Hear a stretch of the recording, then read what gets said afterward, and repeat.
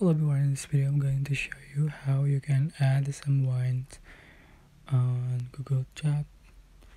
So you can open the Google Chat app, but I'm going to open the Gmail and here you can access this Google Chat in Gmail. Just click on this icon and to add someone you can select new chat and select create chat or just type person. Right but I'm just going to uh, create a space and create a speech name for example and description yeah as you like.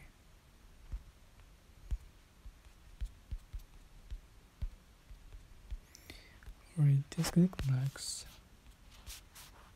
and add people's just type email.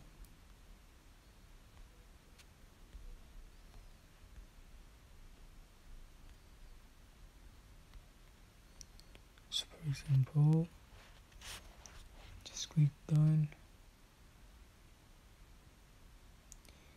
That's it. You can add people more just click on this option. That's how you can add someone on google chat. I hope this tutorial was helpful for you guys. Don't forget to like comment share and also subscribe. Thank you so much for watching